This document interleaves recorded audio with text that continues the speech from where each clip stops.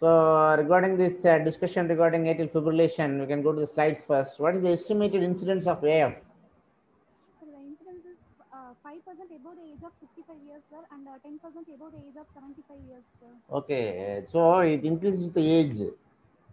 But the preoperative atrial fibrillation is the wide uh, estimated range of uh, incidence 2 to 60%. And that is depends on the type of surgery. And it is lower in non-cardiac surgery. And, uh, and it is 4.8%. And it is uh, uh, very higher in uh, uh, surgeries, very major surgeries like esophageal, thoracic, and abdominal aortic aneurysm surgeries. Uh, that is estimated incidence may be 12 to 19 percentage. So it is a very commonest arrhythmia in the perioperative period. That is why we are so much bothered about this AF. Okay. And can you define AF? What is AF?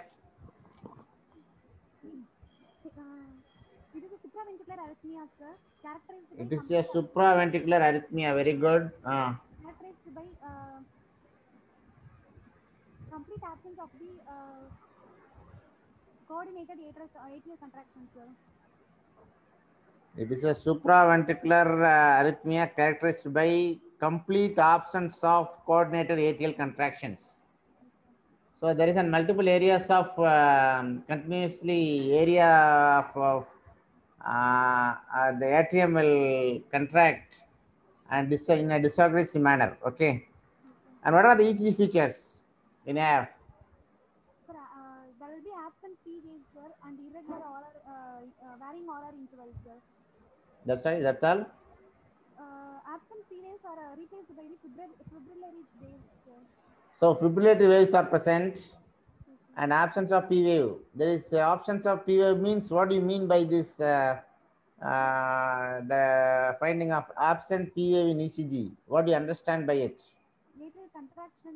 There is no atrial contraction. There is a cohering movement. There cannot be any atrial contraction. That is the point we have to remember it. That is why there is no atrial contraction. So the P wave in ECG stands for atrial contraction, which is not present in atrial fibrillation. Okay. Then irregular RR interval and fibrillatory waves that denotes that cohering of the atrial walls. Okay. And what is the pathophysiology, mechanism of AF? So there will be enhanced automaticity within the atrial tissue, sir, which leads to development of multiple atrial focals, sir. So enhanced automaticity. Okay, good. Uh, that which extends into the pulmonary veins under the infra vena cava, sir, There are ah yes okay. Uh, uh, which leads to the development of uh, multiple ectopic focals, sir. so there is an enhanced automaticity within the sleeves of atrial tissue that will extend up to the pulmonary veins or vena caval junction and these foci will act as a trigger factor to generate multiple atrial ectopics that leading to AF. Okay.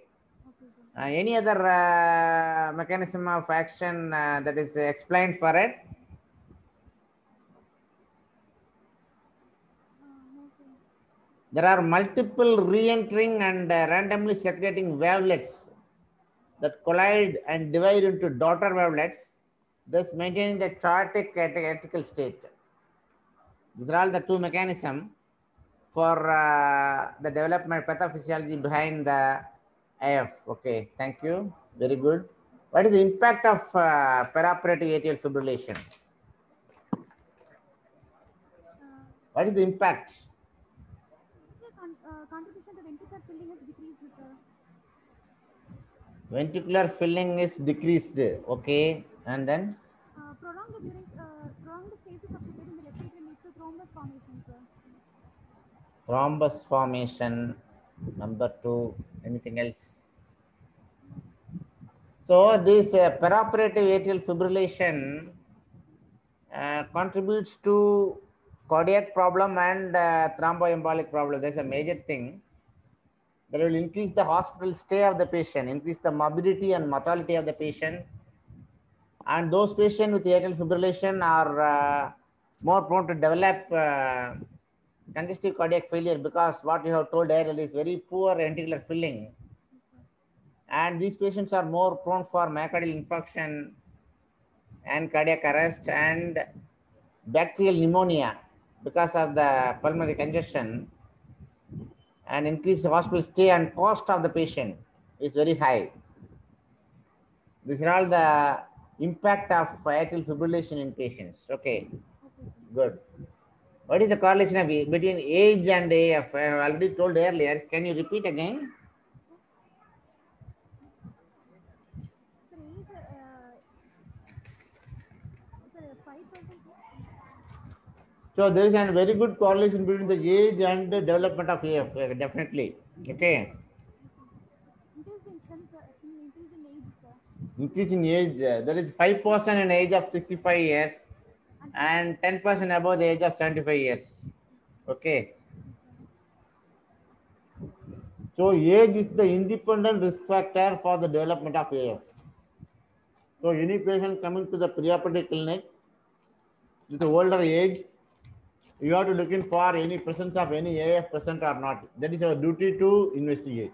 Okay. Okay, sir. That is the importance of age and AF. What do you mean by lone AF? Uh, sir, atrial fibrillation that, uh, that is developed without any, uh, uh, without systemic diseases, sir. Yes, your uh, voice is not uh, very clear. My voice is very clear now. Sir, a- yes, sir. Uh, you can have your mic, man. Lady. Mm. AF. is commonly associated with the structural heart disease, sir.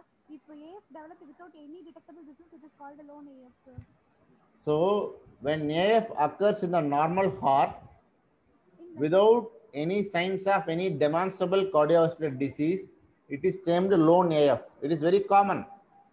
And this lone AF is very common in the old age also. And sometimes it may be present in the young age also.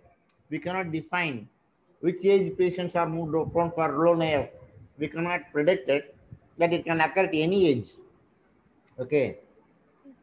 Hmm. What are the types of AF in of? Uh, sir, types of uh, first onset AF, that is uh, first onset AF, sir, paroxysmal AF, uh, persistent AF, and permanent atrial fibrillation, sir. Hmm. Uh, first onset AF is a uh, first clinical presentation uh, where the patient is still in atrial fibrillation and present less than uh, 40 hours, sir. Hmm. Um, then a paroxysmal AF is the uh, occurrence of recurrent episodes that usually last uh, minutes, hours, uh, or uh, days, sir, but um, self-terminate. It is usually self-terminate, sir. Uh, persistent AF, it is usually not self-terminating, uh, needs electrical or pharmacological cardioversion, sir. Um, permanent AF, um, it is a frequent recurrence or inability to cardiovert the patient, sir. So first onset AF is uh, the first time occurrence. And it can be reverted back again with spontaneously. Sometimes it doesn't need any uh, interventions. That paroxysmal occurrence AF that denotes that the important thing to understand is recurrent episodes, recurrent episodes, and the duration is less than 48 hours. Persistent, Arrhythmias is not self the persistent in relation to the duration. How long it will persist? When you say this persistent AF, more than 48 hours. more than more than seven days. More than seven days. Permanent AF, seven days to one year. Seven days to one year minimum. So when you say this persistent AF, that needs intervention.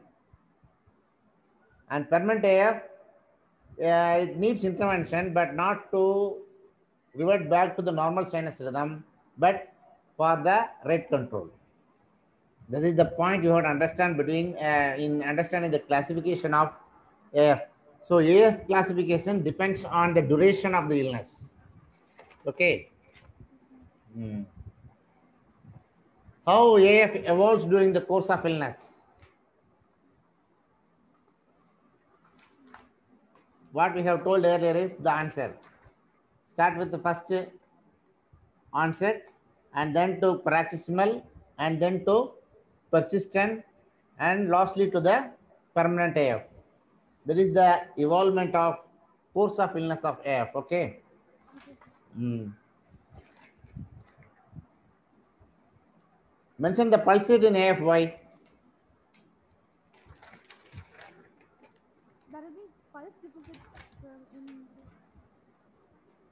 Pulse deficit है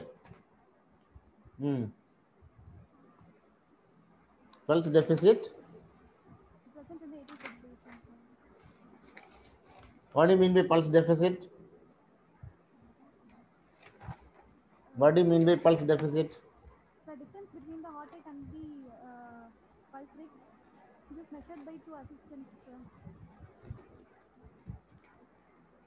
why there is a pulse deficit in af And how, how it is manifested clinically?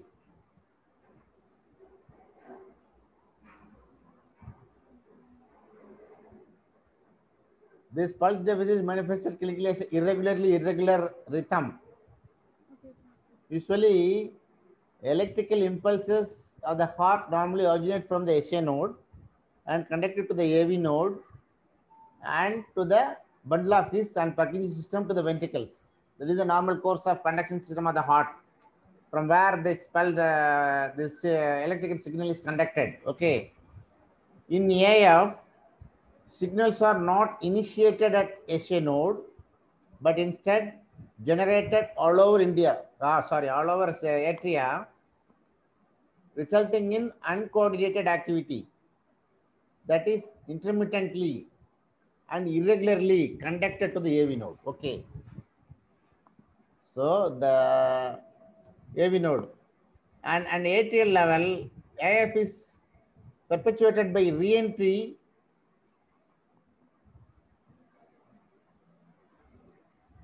and or rapid ectopic firing. So the ventricular response to this irregularly irregular firing from the AV node, that is the cause for this irregularly irregular pulse in AF. So this question will be commonly asked in uh, the, by the examiners, why there is an irregularly irregular pulse rate in AF. So the answer should be the uncoordinated atrial discharge may result from irregular atrial response to a rapidly discharging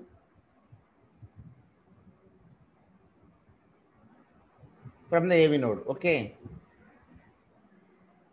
So the discharge from the AV node to the uh, bundle of His to the ventricular system is uncoordinated and intermittently passed on in an irregular fashion. Okay. What are the causes and risk factors for AF? What are the causes and risk factors?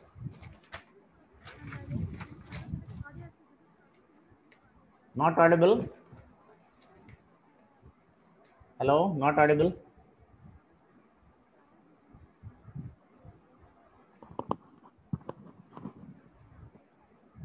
Not audible. Sir, audible. uh. Louder, please. Sir, causes of atrial fibrillation, sir. Hmm.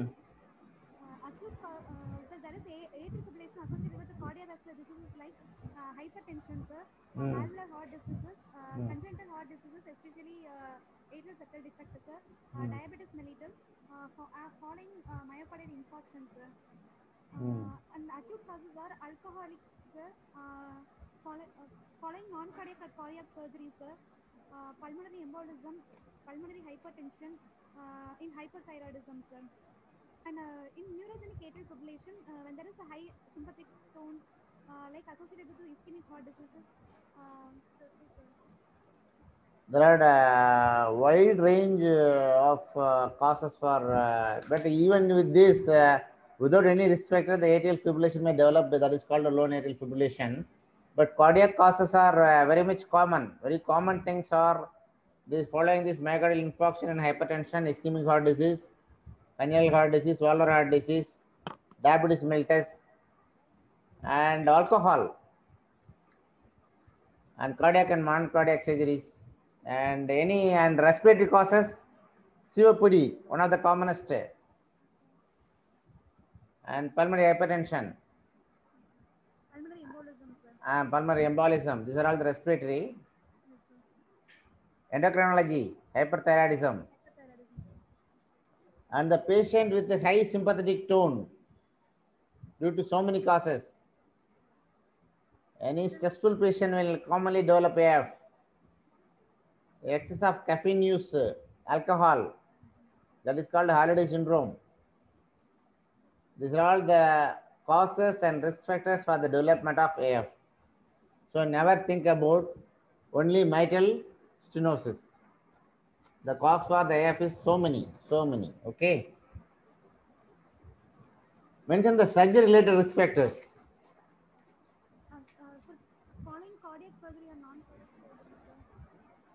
Hmm. So surgery, uh, in what way? What are the factors? Hmm? The following surgery is common. That is why I am asking. What risk factors in surgery? Hypovolemia or hypervolemia, hypoxemia, intraoperative hypotension, trauma, pain, and type of surgery, hypoglycemia, any electrolyte abnormalities, especially primarily hypokalemia and hypomagnesemia and anemia. These are all the surgery related risk factors. Okay. Even sepsis. Okay, sepsis also. And the patient related risk factors, patient with the chronic renal failure also more prone for uh, developing AF in perioperatively. Okay. And uh, obstructive sleep apnea. These patients are uh, excessive sympathetic overdrive that lead on to the development of AF. Okay. What are the adverse consequences of AF? I have already told earlier. Adverse consequences, non-cardiac, cardiac and non-cardiac. Cardiac, cardiac, what is the problem in cardiac? Consequence of cardiac, commonest is, is the single most risk factor for the development of left ventricular failure. Why?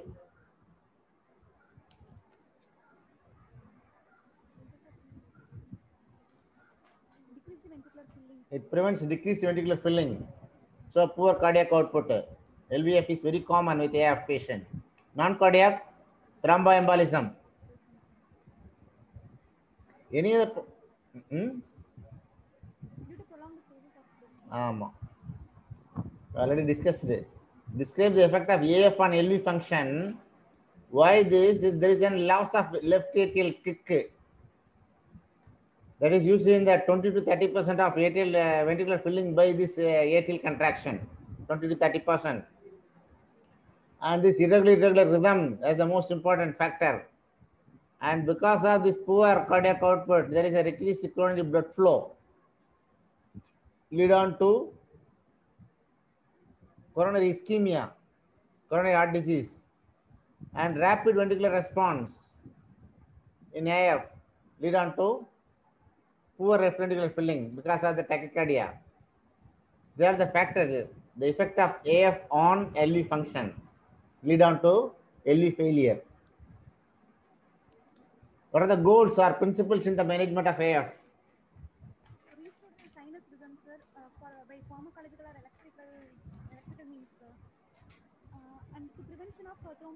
Uh, episodes. Uh, con- and uh, control of ventricular rate. Uh, and prevention of recurrence of the uh, atrial fibrillation uh, following the restoration of sinus rhythm, sir. So the principles are only three, mainly.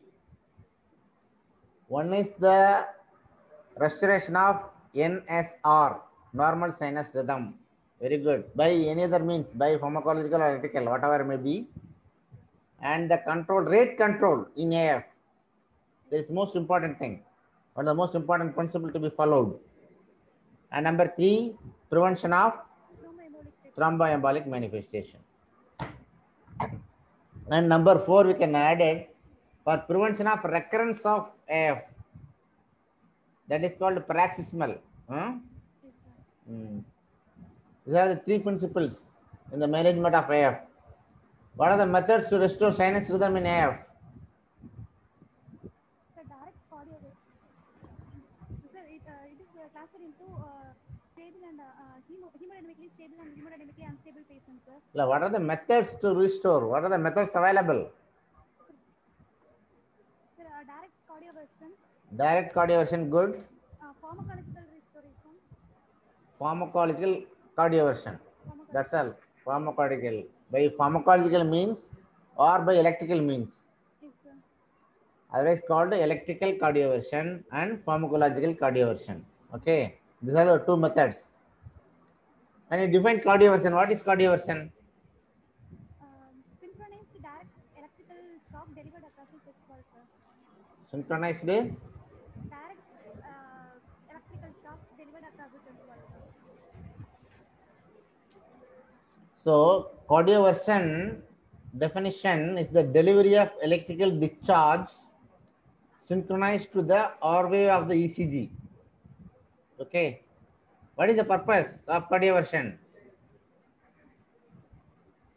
To recoordinate the electrical pathways of the heart by delivering a single dominant burst of electrical activity on the R wave of ECG. Okay. So the electrical discharge or shock is transmitted to the two chest electrodes. Uh, okay, we, uh, we cannot go into the details. We'll come to the next question. Uh, what is the indications for elective and emergency indications for cardioversion in AF? What are the situations you have to do electric uh, emergency cardioversion in AF? So in hemodynamically unstable patients, uh, uh, emergency uh, So those patients who are in rapid ventricular rate RVR, uh, which who are there humanly unstable or any other indication or any other evidence of acute myocardial infarction or patient with LV failure. These are the three indications for emergency cardioversion in AF. What is the elective? When will do elective?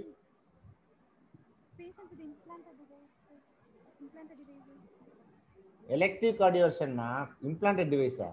What you are, uh, you are, no, what are, So those patients who are having this cardioversion of more than 48 hours and uh, postoperative AF and for uh, these are all the indications for elective. And how will you perform it?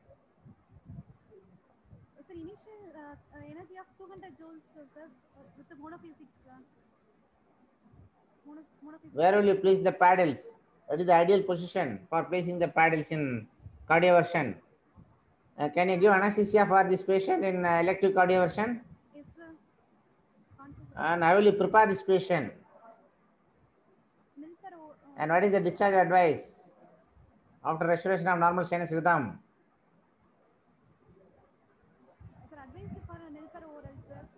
Uh, Yeah. Hmm. Paddles are kept in anteroposterior position of the paddles, sir. Sternum and the left scapular region, sir. So you have to do this uh, uh, uh, conscious sedation anesthesia by using this midazolam or very low dose of propofol that is enough and the patient should be sedated definitely. In uh, in uh, elective cardioversion. And what is the joule applied? By biphasic that is uh, 50 to 100 joules.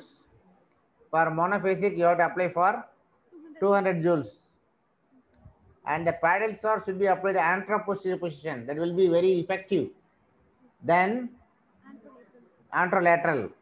one in the mid of the sternum, another in the apical portion. It will not be much more effective.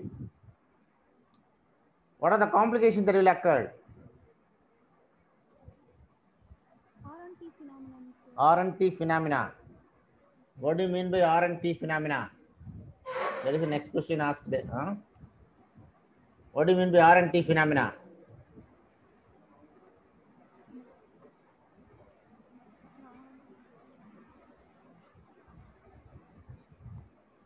So that I have already told earlier, the shock is coordinated with the R wave of the ECG. Okay. So that the stimulus, the stimulus is not delivered during the relative refractive period of the ventricle. That is during the T wave.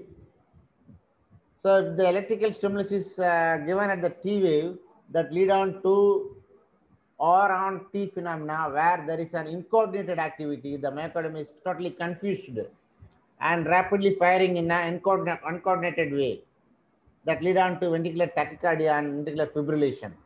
So it is very dangerous effect when you deliver the shock during the refractory period of the myocardium. Okay. Okay. So, so synchronized cardioversion is most important. Uh, by- that, uh, I will ask one small side question also. What are all the indications for cardioversion other than AF? In what all the situation can use cardioversion? SVT, commonest indication. Atrial flutter. These are all the commonest uh, indications for uh, cardioversion. Okay. And what are the contraindications of uh, this cardioversion?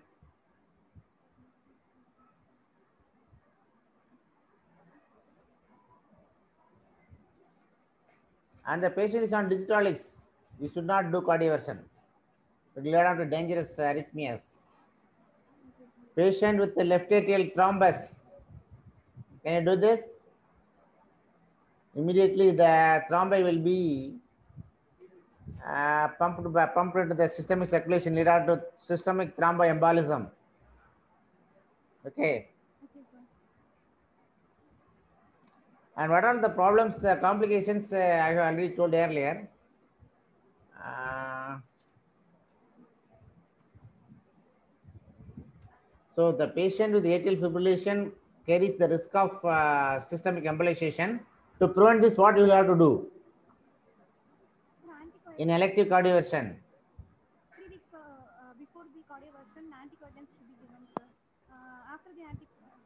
How long you have to give for elective cardioversion? three, to four weeks of three weeks, three weeks of anticoagulants, uh, before elective cardioversion, sir, followed by four weeks of anticoagulants followed by four weeks of anticoagulation. Okay, good. Mm. And then, uh,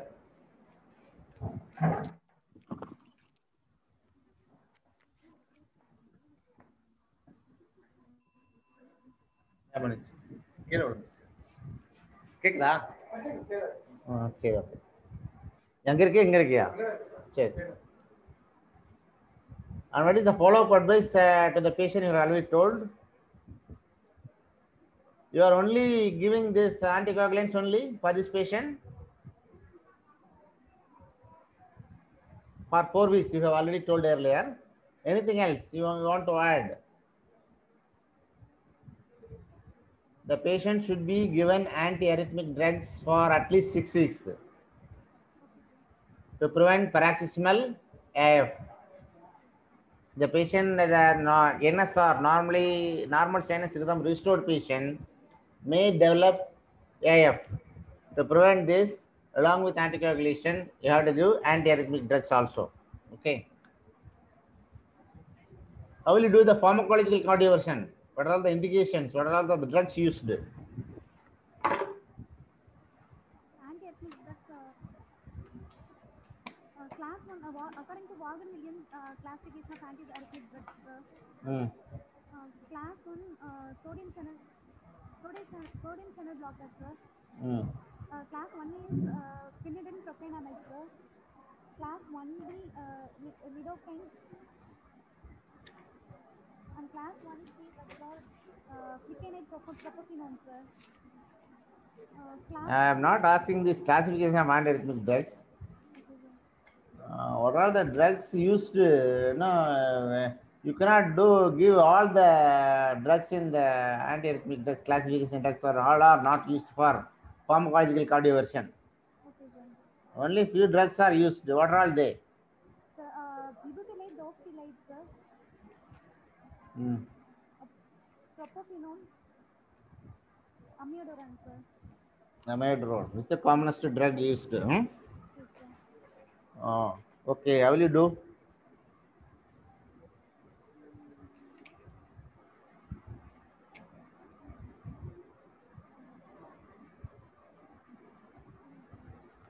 So the indication for drug-induced cardioversion is uncomplicated AF that are refractory to the rate control or for the first episodes of AF less than 48 hours Okay, sir. And to eliminate the need for anticoagulation. Okay. Okay. So the commonest drugs used are only two drugs are very commonly used. One is the amiodarone and another one is the ibutilide. The success rate of amiodarone in recent onset AF, I mentioned previously, ibutilide, uh, uh, it's a recent drug, can be given the dose of 1 milligram IV over a period of 10 minutes and repeated if necessary. But the, what is the problem with ibutilide? It prolongs the QT interval. And there is a high risk of promoting polymorphic ventricular tachycardia. That is Torsades de pointes. And what is the very common drug used is our amiodarone. Okay. How will you use this amiodarone for uh, rhythm control? What is the dose of amiodarone that can be used for ca- pharmacological cardioversion? 150 milligram uh, IV over 10 minutes, sir. 150 milligram IV over 10 minutes. Very good. Uh, and uh, repeat if needed, sir. Then infuse at rate of 1 milligram per minute for 6 hours, sir. Hmm. Followed by 0.5 milligram per minute for uh, 18 hours, sir. Hmm. And the total dose should not exceed 2.2 gram in 24 hours, sir. Very good, very good. That is very good. You have uh, extraordinarily good. You have given, uh, say, the right dose of amiodarone for pharmacological cardioversion, and for that is 150 milligram IV bolus over a period of 10 minutes. Okay, very good. And repeat if needed. And then you have to continue the uh, blood level of uh, by using 1 milligram per minute for 6 hours and then 0.5 milligram per minute for next 18 hours. Very good. And the total dose should not exceed 2.2 milligram per 24 hours. Excellent. Very good. And can you classify antiarrhythmic drugs? I have already told earlier. What are all the classification? Sir, it, is a Vaughan-Williams classification of antiarrhythmic drugs. Hmm. Uh, class 1, it is uh, So your amiodarone come under which category? class 3, 3 Class 3 means what do you understand by this class 3? it prolongs the repolarization, sir. At phase, what phase of action potential? Phase 3, sir. Phase 3. So phase 3 is for repolarization. That is the refractory period. So what it does actually? So it prolongs the refractory period. It prolongs the refractory period. Okay. So thereby, you have what is the quality of refractory period in cardiac muscle? That's the unique property. Suppose if any stimulus applied during the refractory period, the cardiac muscle will not respond. It will not generate any action potential if the stimulus is given on the refractory period. So if you prolong the refractory period, we can reduce the arrhythmogenic potential of myocardium. That is the principle behind uh, prolonging this phase 3, that is the period of repolarization, that is prolonging the repolarization. Okay. Hmm. And then now say the classification now. The class 1 is a sodium channel blocker, sir. Very good. Uh, uh, in class 1A, sir, the quinidine, procainamide and disopyramide, sir. Uh, uh, all uh, what is the action? It prolongs the repolarization. So, class 1 drugs are sodium channel blockers. You should uh, understand first. The class 1 drugs are sodium channel blockers. Okay. And class 2 drugs are Class 2, lidocaine, uh, beta beta adrenergic blockers. Beta blockers. And class 3 drugs are potassium channel blocker, sir. potassium channel blockers. That will prolong the repolarization. Phase 3. And uh, class 4 So uh, miscellaneous drugs, calcium channel blockers. Very good. In this way, you have to understand it. Okay. Now you can say what is 1A, 1B, and 1C. One A is uh, quinidine, procainamide, and disopyramide, sir, which prolongs the repolarization, sir. Very good. Uh, And uh, 1A, 1A, alpha, 1B, one B uh, is lidocaine. Uh, it shortens the repolarization. That is lidocaine, mexitin, tokenamide, phenytoin. Okay. it shortens the repolarization, sir. 1C. One C, uh, bucanate, propafenone, sir. So 1C is a little effect on repolarization. So 1A prolonged repolarization, 1B shortened repolarization, 1C the little effect on repolarization. Okay. Uh, class 2 drugs are all beta blockers. Okay. Mm, class 3. potassium channel blockers. Uh, So class 3 drugs are most important for the restoring the normal sinus rhythm in AF. So these drugs are amiodarone, bretylium, sotalol, ibutilide. Very good. And class 4 drugs are calcium channel blockers, sir. Verapamil, uh, okay. Any other miscellaneous drugs? Digitalis and magnesium. These are all the classification of antiarrhythmic drugs. There will be asked in the theory question. Very commonly asked. Uh, there can be given uh, an essay also. And you have to describe any one drug in detail. That may be the long question for you in the theory examination. So most important, all should read about this antiarrhythmic drugs, uh, the pharmacological actions and side effects of all those drugs, especially those drugs which commonly used. Okay.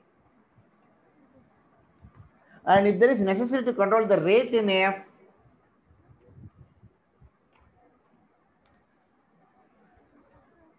why? What do you mean by the terminology RVF? Audible, not audible? So, louder, please. rapid ventricular filling, sir. Rapid ventricular filling. RVR. Sorry, RVR. The terminology is RVR. Ah, rapid ventricular response. That is the terminology. Ah, why you have to uh, control the rate? Because, uh, otherwise there will be, uh, ventricular filling will be decreased, sir. So compromising the LVF, LV function. LV function is uh, reduced because very high ventricular rate, the LV fa- filling is compromised, lead on to LV failure. Only ventricular filling, yes, sir. Mm, LV failure. Okay. And then, why? Uh, what are all the drugs used for this rate control? Uh, And and Uh, dejection and dejection. These are all the three drugs used in uh, three type of drugs used in um, uh, ventricular uh, rate control, ventricular rate control, RVR. Okay. Mm.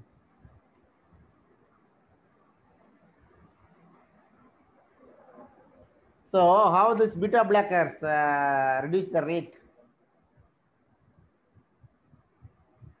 sir. Esmolol, metoprolol, propranolol, Uh, where they all these drugs act? So act on the AV node, delay the conduction. Okay. Hmm. Mention the drug regimens in the acute rate control in AF. Sir, esmolol, uh, Esmolol. Yes, sir. 500 mics per kg loading. Talk about first the beta, beta blockers. This is a very commonly used drug in our practice. What is the commonest beta blocker in acute? Why I am saying this? In the operation theater, the ventricular response rate RVR is more than 130 in AF patient. You are in a dire emergency situation to control the rate in AF. Otherwise, the patient may go in for LV failure intraoperatively. Pulmonary will occur. Okay. In those situation, acute rate control regimen. How will you do? There are so many drugs are available. You have to mention all the drugs and the dose regimen. Esmolol. Esmolol. You are preferring esmolol for its a beta blocker. Very good. Uh, Why you are choosing this esmolol? short acting beta blocker, sir. Short acting, ultra short acting. Ultra Mm. So that is very short acting means what is the advantage you claimed? rapid elimination, sir. Rapid dose titration may be available. You can increase and decrease the dose according to the ventricular rate response. And very effective in AF associated with hyperadrenergic crisis. Okay, states. Mm. How much is the dose? Uh, dose is 500 mics per kg loading dose over 2 minutes, sir. Uh, followed by 50 mics per kg IV infusion, sir.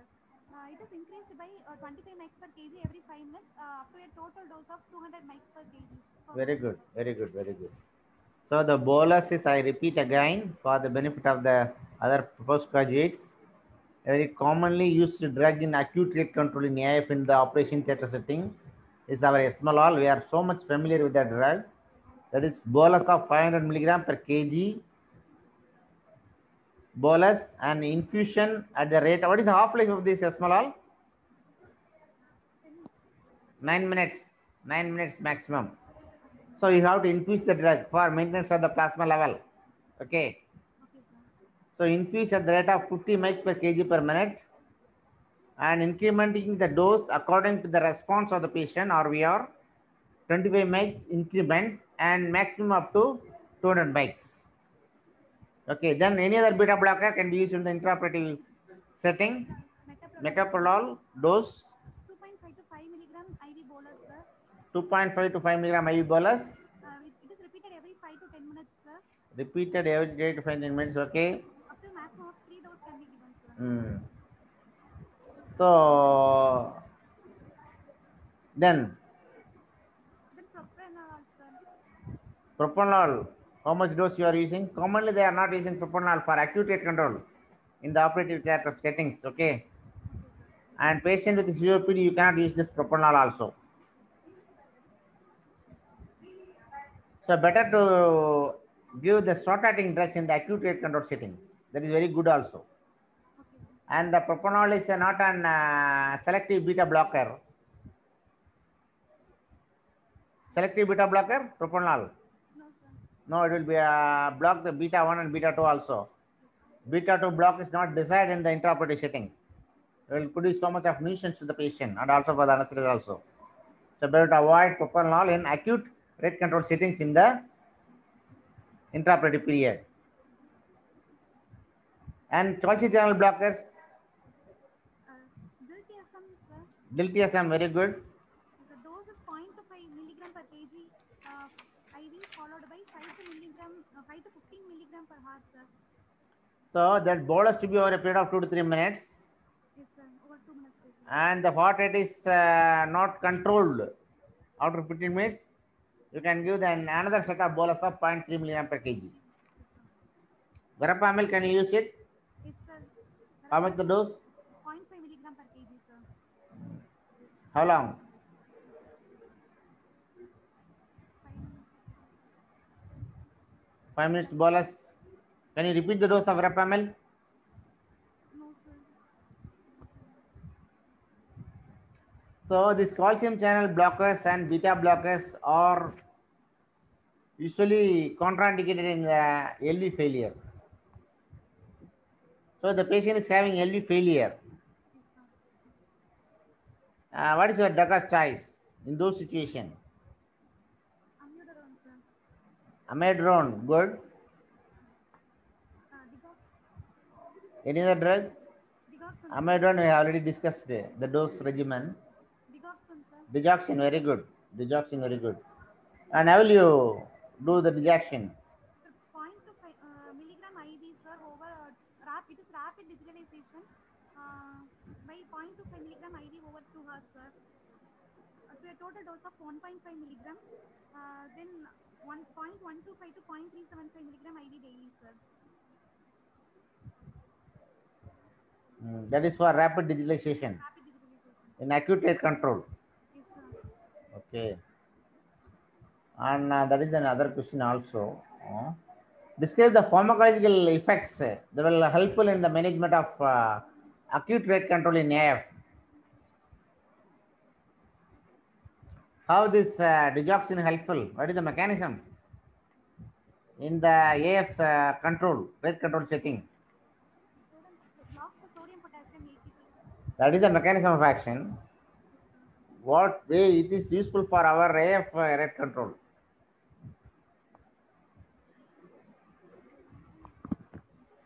Hmm? Hmm?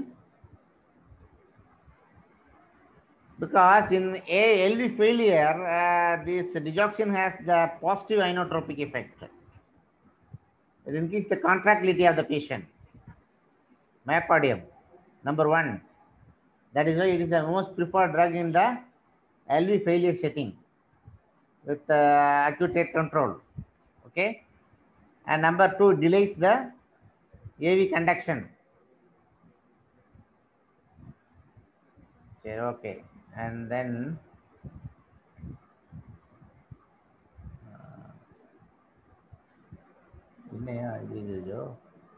all of uh,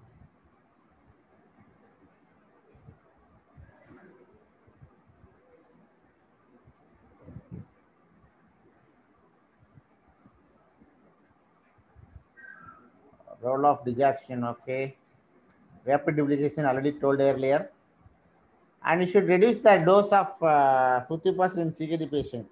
Okay. Already told very correctly this rapid digitalization, you should all should know about it. Starting dose of 0.25 and 0.25 milligram every 6 hours to the maximum of 1.5 hours. And this pharmacological effect is manifested after 6 hours of IV digitalization. You cannot uh, um, have this uh, effect immediately it takes one hour to two or six hours. And you should not exceed the maximum dose of 1.5 milligram per day. What is the normal therapeutic range? 0.5 to 2.5 nanogram per ml. Uh, more than 3 nanogram means the toxic range. So the narrow therapeutic index is the most important uh, disadvantage of uh, digoxin. What are the common predisposing factors for digitalis toxicity? These are the drugs commonly causing this digitalis toxicity. Any other uh, factors? Sir, uh, hypokalemia, hypomagnesemia, sir. Patients with hypo, electrolyte disturbances like hypokalemia, hypomagnesemia, Okay. uh, dehydration, patients with dehydration, sir, Hmm. and uh, uh, renal failure patients, sir. So hypokalemia, hypomagnesemia, hypoxemia, hyperventilation, and dehydration and renal failure, these are all the factors that will lead on to digitalis toxicity perioperatively. What are the easy findings of digitalis toxicity? The PR interval prolongation, sir. PR interval prolonged, good. Uh, QT, shortening of the QT interval, sir. Hmm. Uh, there will be sagging of ST segment uh, or uh, uh, biphasic will be present. Very good. Prolonged PR interval, sagging ST segment, there is present here. See the ST segment is sagging. Flattening or biphasic T wave. See. And QT interval is shortened. If you measure it, it will be shortened. QT, Q to T. These are all the ECG findings in digitalis toxicity. What are the effects of digitalis toxicity on the heart? Sir, automaticity uh, uh, increase the automaticity, sir. Hmm. Uh, Very good. Increase the automaticity. So the rapid firing effect with ectopic foci or more in the heart. That is the uh, meaning of the sentence automaticity. So firing is not only from SO node, from so many areas of the heart. Okay.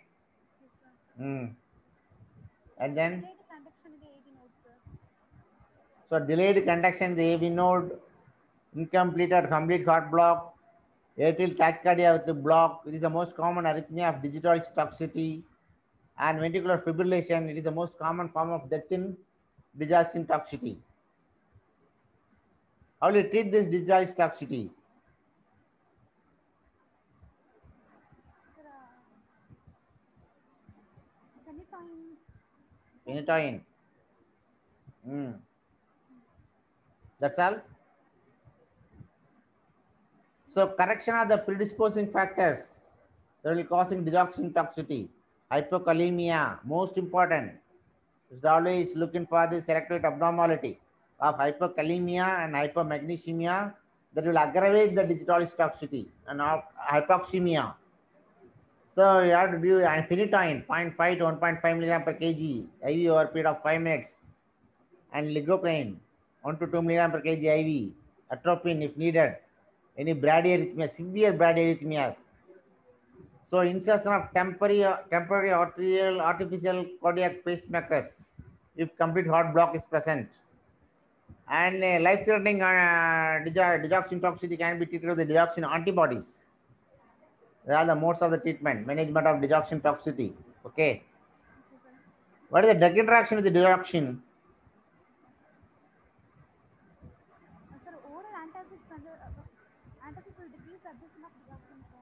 Hmm. So with the beta adrenergic agonist, it will increase cardiac dysarrhythmias. With the calcium, cardiac dysarrhythmias, diuretics in the hypokalemia setting, digoxin toxicity, oral antacids decrease the absorption of digoxin. And use of our uh, fentanyl, enflurane, isoflurane, all enhance the cardiac automaticity.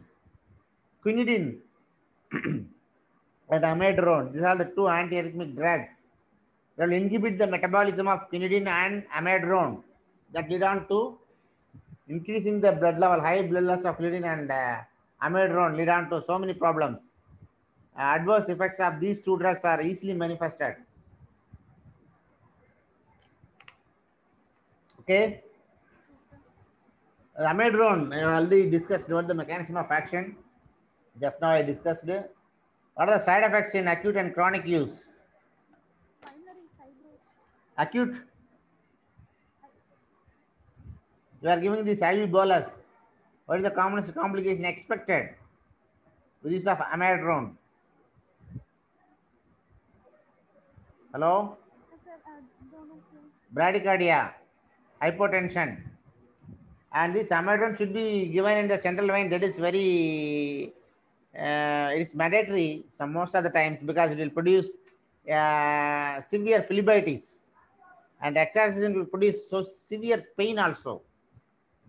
Chronic use, what are the problems with chronic use? Pulmonary fibrosis, sir. Pulmonary fibrosis, okay.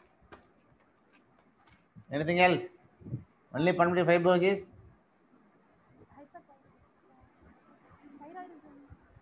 Hyper and hypothyroidism.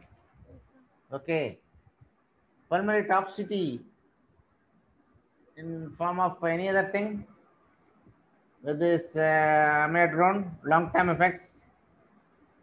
I don't know, sir. Don't know, sir. Amiodarone, don't read. Read amiodarone thoroughly. There are so many problems. Canaloplasty, so many things are there with the chronic use of this uh, amiodarone. Huh? Please read. And what are the potential risk factors for the composition of amiodarone chronic use? And what is the incidence of AF in postoperative period? So we are going to the management in special situation. The incidence is 27 to 37 percentage.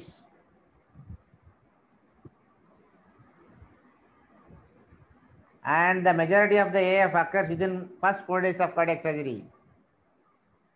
And the peak incidence in the second postoperative day. What are the factors I have already discussed there?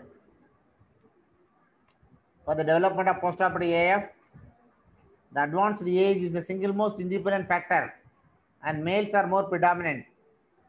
And history of previous AF, cardiac failure, hypertension, COPD, renal failure, previous cardiac surgery, any problem in uh, prolonged PVS on ECG, atrial dilatation,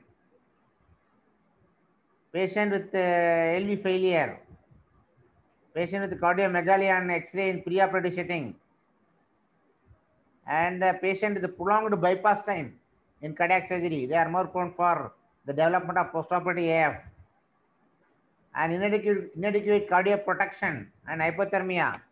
These are all the risk factors for the development of postoperative uh, atrial fibrillation.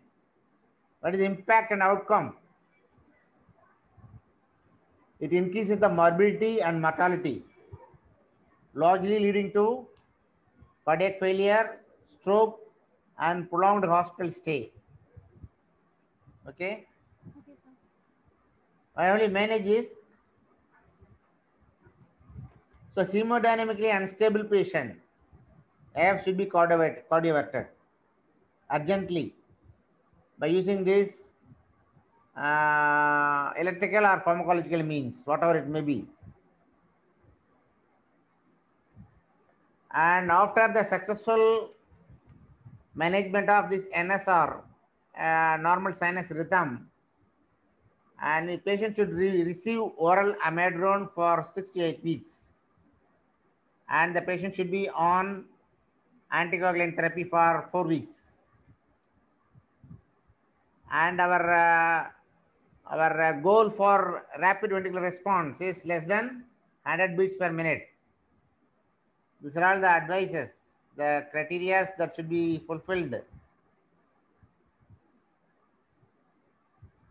And if possible, the patient can be given left or right or biatrial pacing can be done to reduce the occurrence of AF. It will reduce the occurrence by 30 to 60 percent. Okay. Uh, these are all about this postoperative AF, very common phenomena that will occur in postoperative period, especially after cardiac surgery. And it will also occur in major uh, surgeries or major surgeries also. Aneurysmal surgeries, esophageal surgeries, uh, prolonged surgeries with uh, so much of uh, intraoperative insults all precipitate uh, this postoperative AF. Okay. And AF management in special situations in pregnancy and acute myocardial infarction. So in those situations, in acute myocardial infarction, the patient develops AF. You should have to revert the patient by cardioversion. It is one of the indication, provided the patient is hemodynamically unstable. Okay. In patient with cardiac failure in AMI, AMI, you should use you have to digitalize the patient, IV digoxin, which has the positive effects with uh, positive inotrophy. Or you can use this digoxin or amiodarone. And can use beta blockers in AMI setting? Never. Never, never, never. You should not use beta blockers in AMI setting uh, for the development management of AF in AMI. AMI, acute myocardial infarction, because these beta blockers will lead on to LVF and bronchospasm. It may lead on to atrial ventricular block. And how will uh, manage uh, AF management pregnancy? Uh, digoxin, beta blockers, or calcium channel blockers can be used, sir. Okay, good. Uh, oral anticoagulants uh, uh, should be avoided in the first trimester and the third trimester of pregnancy, sir. If the patient is hemodynamic, hemodynamic, hemodynamically unstable, uh, uh, cardioversion uh, should be performed, sir.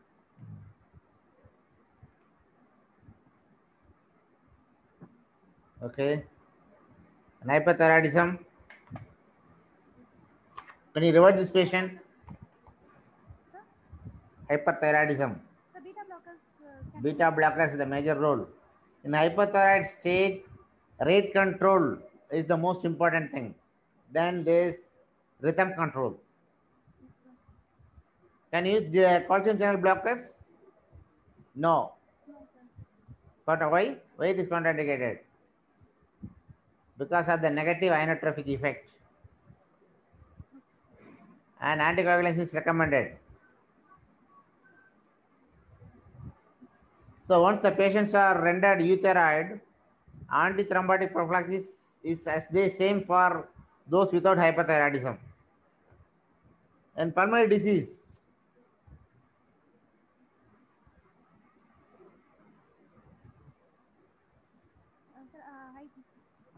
So in pulmonary disease, there is a revert to sinus rhythm may be possible spontaneous but in uh, enteropathy period, uh, it may precipitated. So correction of hypoxemia and acidosis are the primary measures which can develop AF. Okay. So exacerbation of COPD will precipitate AF. So can you use this? Uh, what drugs you will use? Theophylline, you cannot use it. Beta blockers? No, sir. No. Can you give amiodarone in pulmonary disease? The long term use should be avoided, sir. Long term you should be short term you can use it. Okay. And this excitation syndrome, WPW syndrome. Can you use it?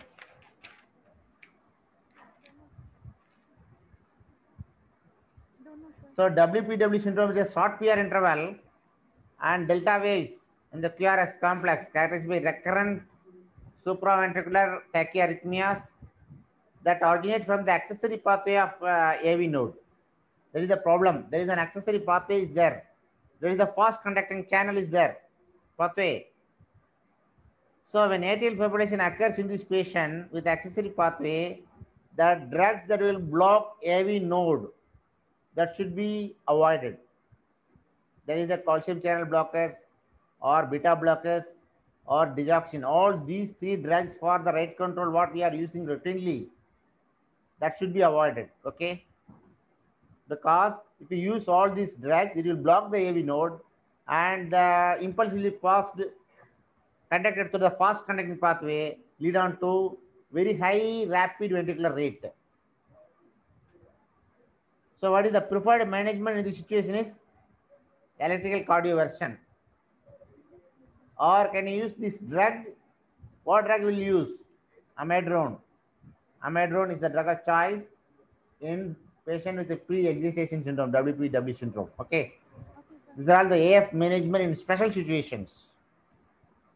What is the incidence of thromboembolism in AF?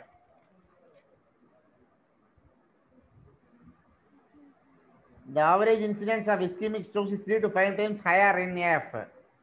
Okay. So the annual risk of three to seven percentage.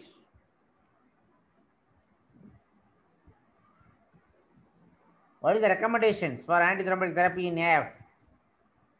What are the scoring systems you know of? Huh? You should uh, definitely know about all uh, these scoring systems. The scoring system for what? What they say. The, uh, the score is more than So the it assess the risk factors of the patient. Risk factors who are all going to develop thromboembolism. So number there are two scoring systems are available. One is CHATS VAC scoring system, and number two is the Has blood score. Have you know about it? What are all the variables or risk factors in CHATS? Just a cardiac failure. Patient with the congestive cardiac failure, you will give 0.1. Patient with hypertension, Point one, 1. Age more than 75 years, Point two, 0.2. sir. Diabetes mellitus, Point one. 1. Previous stroke and ischemic attacks, Two, sir. 2. Vascular disease, 1. Age 65 to 74 years, One, 1. Female sex, 1. What is the maximum score?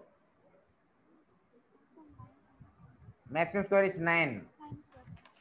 And with this score, what will you do? Four, uh, more than or equal to four, uh, we have to. Uh, If the score is 0, that patient doesn't need anticoagulation. If the score is 1 and below, so long-term anticoagulation is definitely indicated. Less than one, one on one or less, you can use this WGAT and that is enough. If the score is more than 2, definitely you have to give this uh, effective anticoagulants. Warfarin.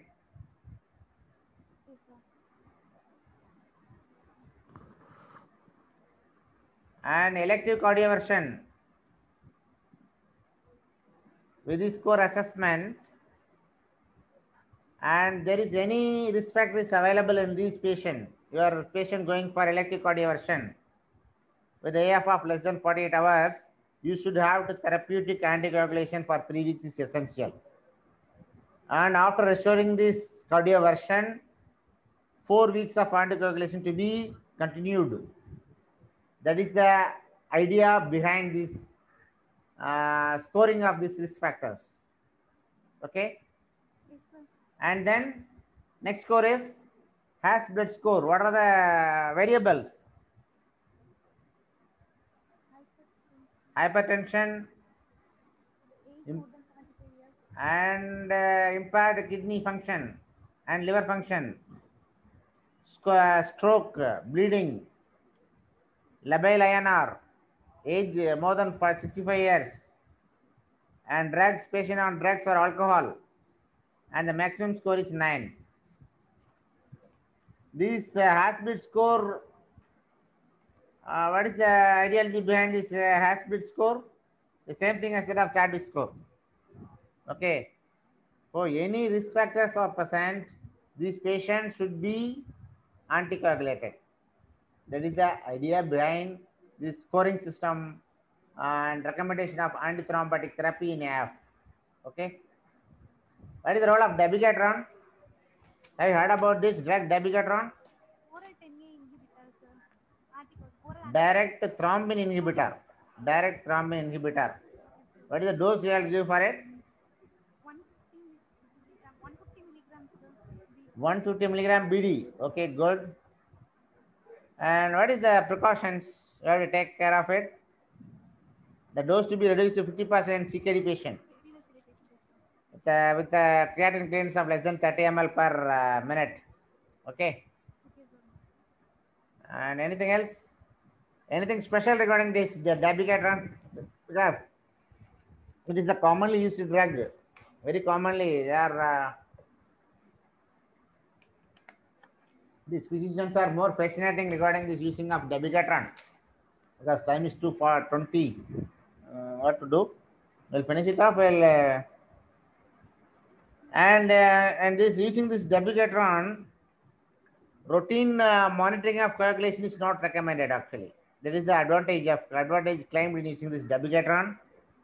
And there is no antidote to reverse dabigatran. You just you skip off this uh, T-half and then you can continue as a normal. Okay. That is the advantage claimed in dabigatran. Mention the anesthetic drugs that should be avoided in AF. Ketamine, you should not use it. Any other volatile agents that can be used in uh, AF patient? Desflurane, good. But increase the sympathetic overactivity. Any other drug? Glycopronium, atropine, you should not use it. Can you reverse this uh, routine? Reversal drugs. Neostigmine and atropine or glycopronium that should be avoided. You can use this Sugammatrix for uh, reversal agent, Sugammadex. That is advice. That is the recommendation. What is the accepted rate control in uh, chronic AF? Hello? Or. That should be less than 100. Okay. That should be less than 100. Better 70 to 90 is very ideal, but it is not possible. But it should be less than 100 for any cost. Before starting with the case in AF, the RVR should be reduced to less than 100. Okay. Okay, When beta was not using AF, uh, already told, uh, we had discussed earlier. This is the preoperative management of anticoagulants in AF. I already discussed. Heparin bridging last class I have discussed. Okay. Which will you select? Again, you select uh, unfractured heparin or low molecular heparin. How will you select it? Any criteria is there? How will you decide regarding this uh, bridging? So the bridging depends on the renal function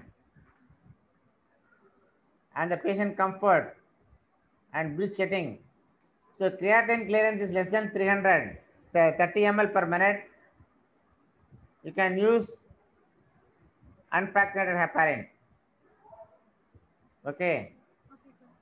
So Rome heparin should not be used in uh, reduced creatinine clearance. That is the important uh, thing you have to understand it. And regarding this discontinuation of this unfractionated heparin, that uh, uh, six hours is enough. But in Rome electric heparin, you should wait for 12 to 24 hours. One day you have to wait for it. How will you manage RVR combined with hypotension in AF setting?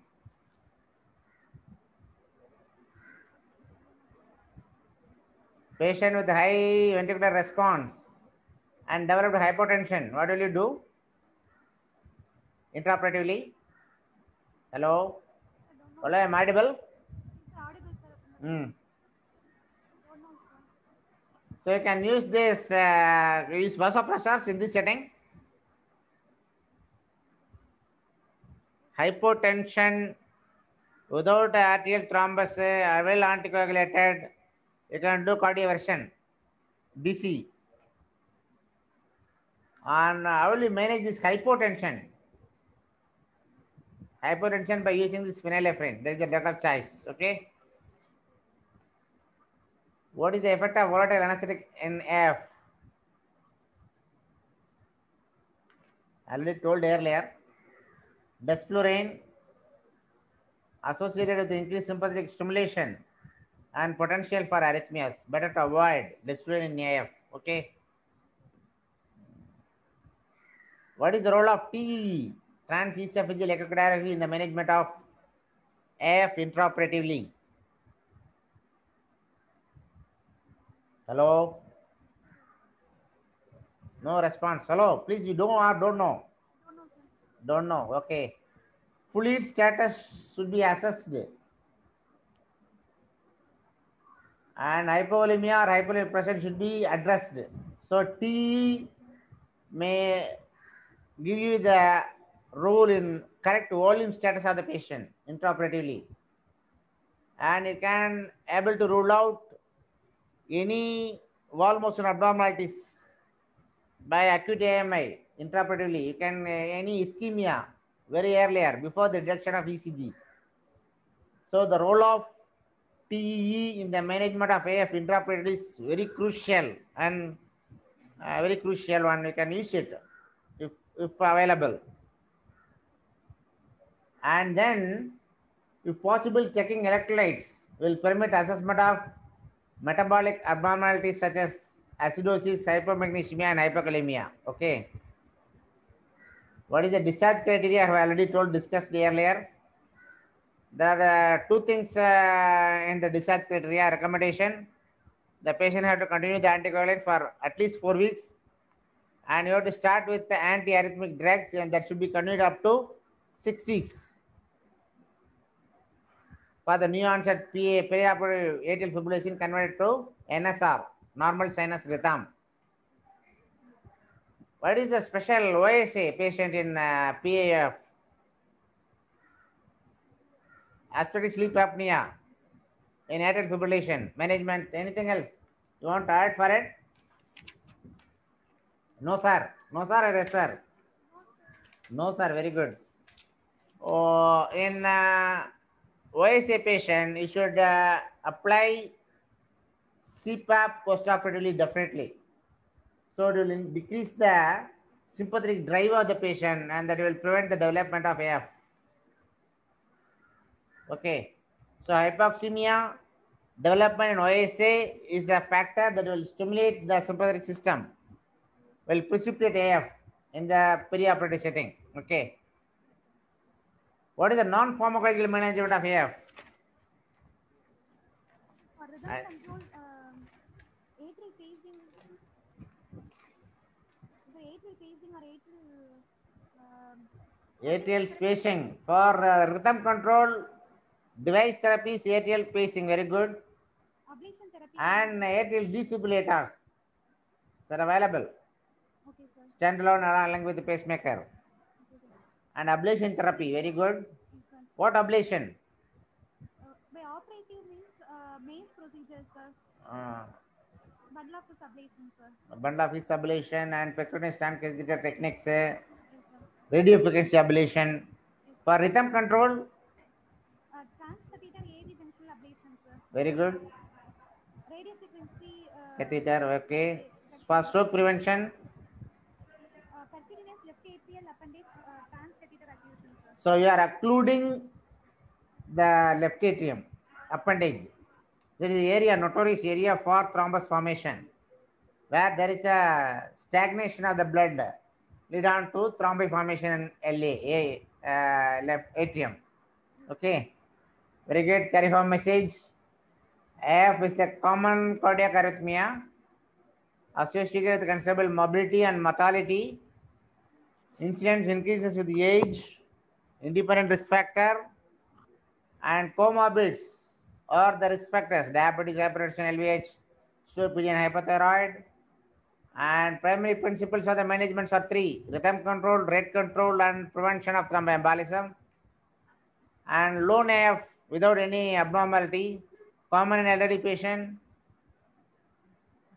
And chronic AF, if there is a risk of thromboembolism and LVF, left ventricular failure, and anticoagulation should be continued for the high risk patient.